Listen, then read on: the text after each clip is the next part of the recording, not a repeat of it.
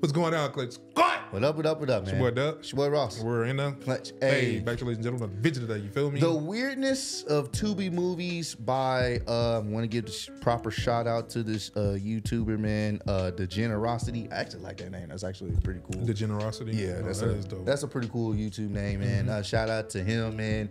Yeah, I guess he did a commentary over the weirdness of Tubi movies. I've seen several clips of different Tubi movies, and they are just some of the worst films, visual effects, acting, setting, everything that makes those C tier movies, like you know the movies that you C-tier. you would see in the, the DVD Yeah. bins for like a dollar. That's what Tubi is. It's a service, A collection of a those. collection of those movies, the worst of the worst, and people watch it because obviously they're having a good time, Well, having shout out- fun, so it out- works. Shout out to Tubi, just in case you know. But yeah, I don't know, bro. I, look, man, we're trying to grow our brand to be something serious, and Tu- Tubi movies are what they are. to be continued. Yeah, to be continued. But But, we're gonna uh, check check this out, man. Yeah, Oh man. my Apparently, God, these bro. are some wild uh, videos. You said somebody sent this over to us, right? Uh, believe so in the Discord. So shout out to you shout out to guys the homie, uh, for the video suggestions in the Discord. We appreciate you guys. Let's get into this one. Uh, I've seen Alright. this clip that you're about to see. Oh my god, bro! Just just watch. Wait, she just shot her at point blank. Oh, we're gonna talk about the audio, how fake that gun sound. Do she even have a gun in her hand? That's 'Cause, like, I don't know what. It's definitely a gun. Y'all. I just want y'all to understand. We three seconds in and I, already paused. it. told you, bro. She shot at point blank in front of the kid. Like we're not even gonna. Hey, Who wrote this? just just keep watching, man. Keep Oh my god! you, you ain't look at the the sound quality and the I visual seen- effects, man. It's just man. You just Cut that that out. part, but yeah, Patreon, you get to see it. I told you, bro. This, yeah, dog. The I'm just kid, a too. kid. Kapow! Them fake What the kid do? Oh man, Tubi. Oh, we in for. Movies. A magnificent visual art form that can show the riveting story of one's life or journey. They can display the harshness of someone's struggles and the beauty of someone's rise, conveying emotions that whenever I see them on screen, I can't help but feel the same way the character is feeling on screen. Not only that, they can introduce you to a new world that is entirely detached from our reality that I'm almost always engulfed in. I think that's a beautiful wonder about movies. They can spark out emotions from me that I just can't get from any True other that. media. Facts. But what kind of deep emotions does movies like this spark for me? That's some old school Godzilla movies, y'all. Niggas in fucking rubber suits. This nigga flew. on the cord, just laid back. he did the lean back double kick. Of course, just like with everything else in existence, there's a not so good counterpart to movies. And these counterparts could be found way easier nowadays since most Skippy. blockbusters nowadays aren't really that good anymore. Like y'all making so many superhero movies nowadays, when are you guys gonna make the Black Bomber superhero movie? I need that. I'll see that in theaters three times in a row. Y'all show my boy no respect, and yet y'all gonna produce the 18th billionth Fast and Furious movie. Ain't nobody wanna see that? And streaming services be producing half the slop we be consuming nowadays. Uh-huh. You can find many of them on Netflix. There's a ton of banger movies on there. But after seeing it on TikTok from time and time again, it seems like there's a streaming service that is a gold mine for not only B movies, but low quality looking, $50 budget, filmed on a Motorola looking ass budget. movies. Facts. Tubi. And when finding this out, my curiosity got the best of me. I, I needed to see this. and when I checked it out, I was not only amazed, but I was perplexed on how amazing these movies are. Some of these movies will make Martin Scorsese reconsider what true cinema my house is. and this bitch is sitting on my living room couch. You the only one with a key. What are you talking about? The audio, Tiffany, bro. the f***ing dog. Boy, I don't even know what you're talking about. I haven't been there a oh, week. Where the fuck did she go? Tubi, if you ain't know, is a streaming service like the others, but unlike them, out of their She disappeared, fam. I want y'all to realize. And he just walked in the shot. when you want to have a good laugh, just watch a random Tubi movie. I, I, I am, I'm interested now. I definitely want to go. Original catalog, they have great works of art like they like, got some Bad dope Cat, on there.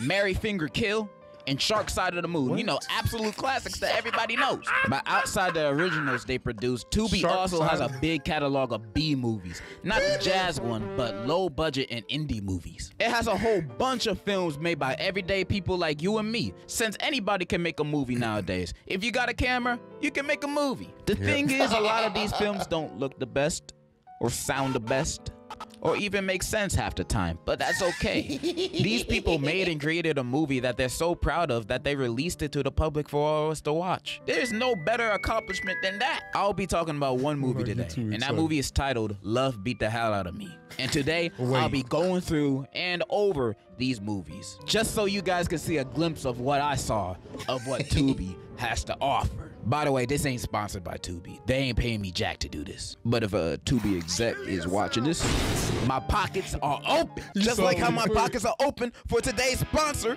War Thunder. hey, that's what's I up. like how you did that. yeah, that was tough. That was That tough. was dope. Fucks with it, man. Ow! All right, let's get this started. I gotta go to my BBL appointment later. So the movie I'll be talking about is Love Beat the Hell Out of Me. Now, I'm not sure this movie is trying to be a sequel or a remake to the 2000 movie with the same title starring the original War Machine, but honestly, my research It's the same title. Yep. He said with the original War Machine. ended there. I ain't watching both movies. The movie starts off with the beautifully done studio logos and title card with some MF Doom song playing in the background. I don't know. I've only heard him from TikTok. And right at the start, we get introduced to our two main characters. Oh, that Dude, video. okay.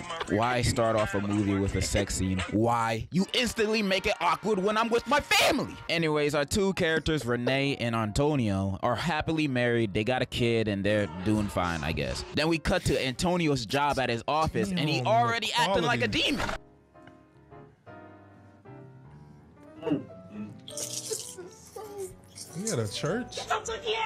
His boss then enters and introduces him to the new hire, Rhonda, and you can already see mad romantical tension between them. You can cut it with a sword or tortilla. It, it was that obvious. Next scene, we are at a school with Renee dropping off her son to and in his classroom. There, she meets her son's new teacher, and the dude is buff like a Samoan. By the end of their combo, you can see even more romantical tension in the air. We seen so much lustful tension with these two, and it was never with each other. She then leaves because she ain't trying to act up, you know. Next, we're at a studio, hearing one of the best songs ever recorded. Sitting in my crib, trying to get blow. Niggas need to understand my shit just flows. Like the breeze off the fucking lake. I got this dope shit uncut, make your ass lose weight. So this dude is Renee's brother, and apparently this is Antonio's studio, and they're all a part of this music group. I forgot what it's called. And Antonio invited some fine singers to help him record a song. Renee brother and Antonio start hollering at these girls, and all of a sudden, this dude becomes a comedian. No, he didn't call himself T Slick. Uh, for real? This candy man looking goofy. Yeah, how dare you sabotage me in front of these ladies when your sister is literally my wife? But they kiss and make up at the end, so it's all cool. Then we teleport to this long salon scene where Renee works out, and all the girls there are roasting each other, talking about their kids and that new teacher Renee met today. Her salon buddies egg her, trying to get the deets out of her, but she shows off her wedding ring, announcing her loyalty to Antonio. How sweet. Alright, not gonna lie. First third of this movie is kind of slow. There- There's a lot of small talk, like Antonio telling Ray about the new hire, and one of Ray's grown ass friends trying to flirt with a kid in a chicken shop. Hey, got an ID? Hey yo! It ain't until Dog. what? This is awful. This is dope. This is bad. Bro, the quality is this is doo doo, fam. Doo doo. This is bad. we back at Antonio's office, and Rhonda call him for some assistance. Antonio heads over to her office, and then his boss is looking for him because he just got nominated for an award for best attorney in the district. The boss and secretary go to Rhonda's office to tell Antonio the good news, Oh, no. only to walk in on him giving Rhonda back shots. Are they serious? They fired on the spot and Rhonda's laughing like she an anime villain. I don't know what the hell that's about. We then cut to Renee bro showing up to their house and he trying to tell her the Did you see the the frame? this nigga giving her back shots in the office. Bro, they just called your name over. there. She must have been already in position and, This and is funny, bro. Dog. Bad news about her husband Antonio. I have no idea how he knows, but like just just deal with it. But then he does one of those long build up explanations instead of just saying what the husband did, just say he cheated. Your husband ain't the man you think he is. Then Antonio walks in last How second right know? before an Yeah. actual explanation Bro, of how does he know that no one knows. when you he was at the office? No one knows how he knows. Will we ever find out? Who knows? The writing, bro. Of course. I hate when characters do that in movies. Just spit it out. Spit it out already. Then we cut to Renee visiting Antonio's old job because she just wanted to see her husband, being a working and strong man. Only to find out this man hasn't been working there for two weeks. She obviously mad, but then the boss tells her the real reason why he got fired. Then she gets even more mad. What? You Miss Chambers. Renee. You, the job everybody that work up in here. Your nosy ass secretary. Renee. We then cut to Antonio making music with that singer he met earlier. Then they start. f***ing. I'm not gonna sugarcoat it. My guy really here, said, fam. "I already cheated once. I might as well do it again." then Renee finally confronts him about his cheating, his job, and she is tired of his dishonesty. You need to calm down. Stop telling me to calm down. This nigga, dog, Cutting that out. finger nose slap her. Hey, if you want to see it, we gotta play it safe, man. That was wait a minute. Holy, bro, he he Kirkpatrick. This man just starts going Chris Brown on her and starts chasing her with a gun like he John Wick in the most intense chase scene I've ever seen in a movie.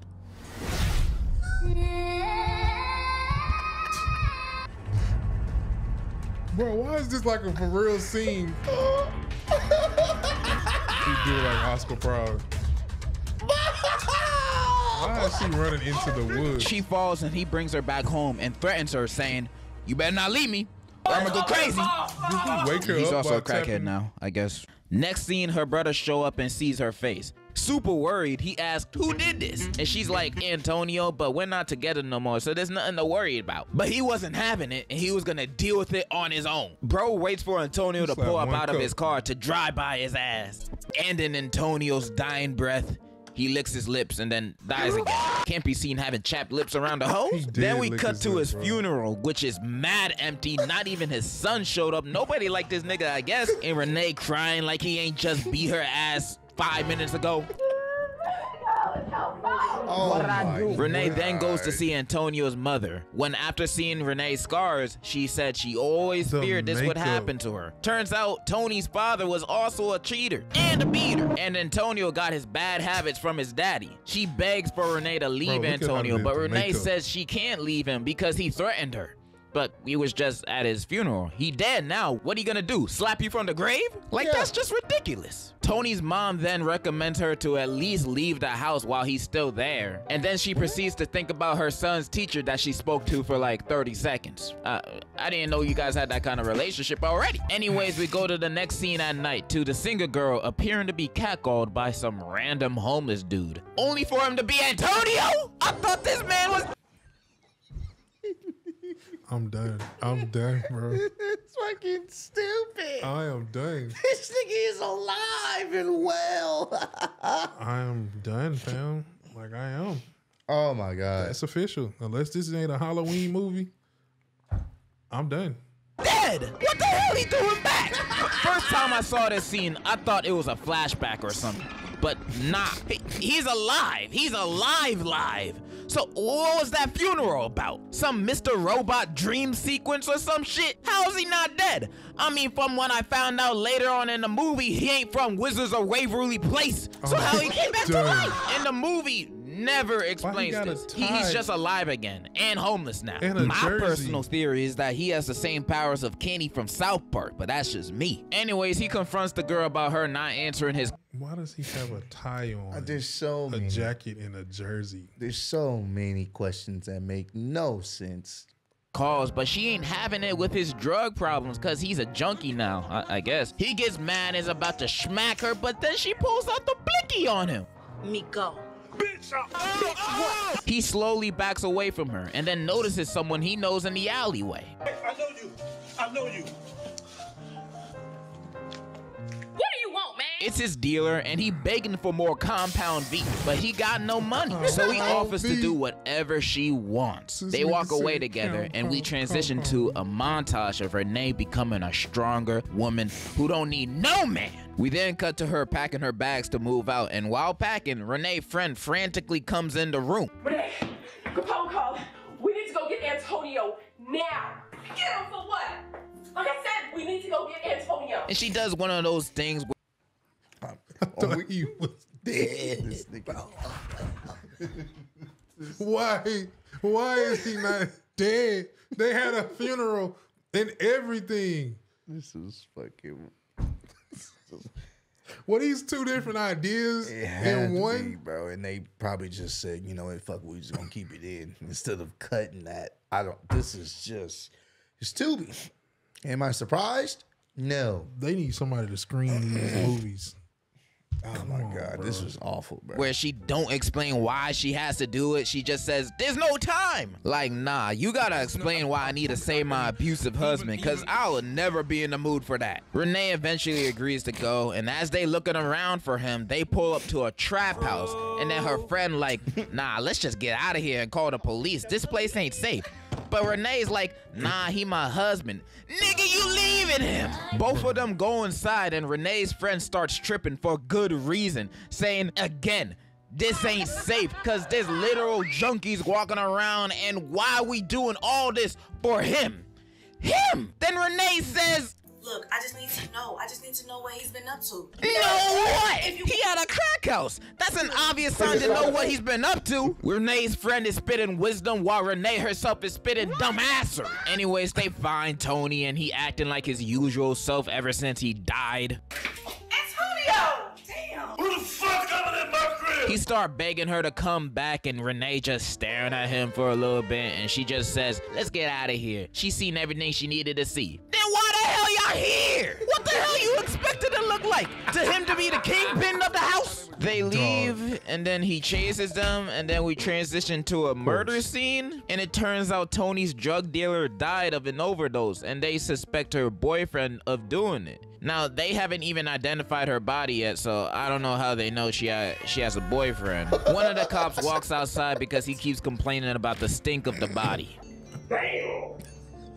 Please get that dead body out of here. He then sees a group of young The African American men hanging out minding their own business, and then the woman cop sees this and is like, Man, I bet you twenty dollars I see sold the drugs to Tasha. Yeah. You know what? Hold it right there. Y'all just Oh, saw these random dudes no, and automatically assumed they did it. You didn't even question them or yourself. You just went after them without no evidence. Like, damn. This movie's more realistic than I thought. But this one knows karate, so movie logic, I, I guess he did it. And that's the last we hear or see anything related to that, so what was the point? We cut to Antonio walking to Renee's house, begging some more, bags. but Renee is really done done with him this time. He tries to beat her ass again, but she's a strong, independent woman now, so the self-defense training came in clutch. She then tells him she going to church, so if he coming, he can come. He says, yes, I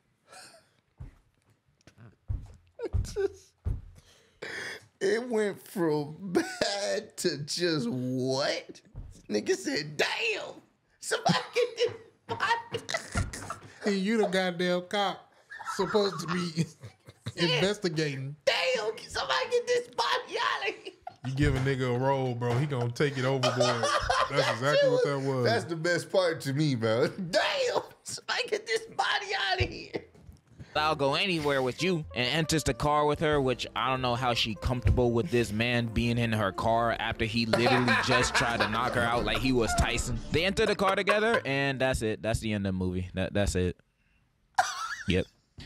But it has one of those, though I'm hopeful. Yes, I am No. hopeful as today. And then, so that automatically makes this one of the best movies I've ever watched. Now, what are my thoughts on this movie? I thought it was pretty gosh darn entertaining. Sure, it had its mishaps like having a slow first 20 minutes, but overall, I freaking loved it. And I'm never gonna judge the acting of these types of movies. I think that just comes with the Tubi package. But, but the writing in these movies always takes a turn in a direction that I'll never predict by the time I'm at the end of the movie. Like, who who the hell this guy robbed? But I love movies. Wait. He was what, fam? Oh my god. He was arrested on four counts of armed robbery and illegal possession of a firearm with the intent to kill. He killed someone. Did kill somebody. This guy robbed. But I love movies like this. They're fun to watch, and I bet the people who are making it had fun making it too. Now, I'm not gonna fuck around and say this movie's amazing or anything, up there with the likes of Citizen Kane and Date Movie. But if you're looking for something stupid, fun, and entertaining to watch, I recommend this. Nah, Because I think this movie encapsulates what Tubi movies are about. Yep. Ridiculous. Anyways, I hope you guys enjoyed this video. I know I've been gone for God knows. Oh, oh that was great, man. That, That was was wild, fam. that was fantastic, man. That was You just didn't know it was gonna take the turn it did. that took a, a incredible turn, and it was hilarious. He came back way. from the dead to beat her. She overcame it because she was training to fight back. Just to tell a nigga she finna go to church and if you want to roll. And he said he'll go. Uh, God damn! This I- body this- out of here! Crackhead had to. Hey, Hey. you guys got. Bet you twenty dollars one of them sold the drugs to her. Hey, It's like, and then one of them knew karate, so he had to be the guy. And then that's that was it with that.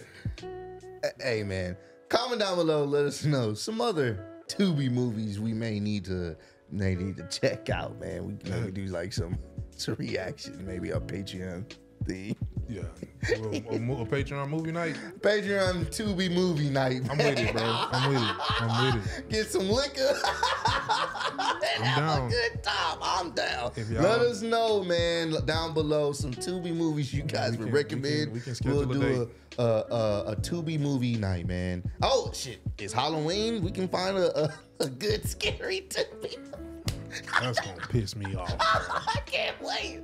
Hey, comment down a good scary Tubi movie, man. We'll we'll do it. We're gonna, we're gonna try to make that a thing, bro. Anywho, I gotta see this, and it's free. So If y'all like the movie, man, make sure if y'all like the the, the guy, not the movie shit, the, the video, make sure you run up the like, subscribe. I'm, I'm all over the place. Oh, that was this. great. I can't believe it. Yep. Can't believe it. This is on an app where millions of people can watch this. yeah. Anywho, run up the like, subscribe, spread love, be love. Facts. Guess we'll catch you in the next one. Peace out. Already. Bitch, he's from Houston. If you got a problem, then we got the solutions. And there's no illusion. I made this shit happen, I'm living life lucid. I'm switching my strategies. Now they hate on me cause I'm causing casualties. But why are they after me? Deep inside, they know they can't handle half of me.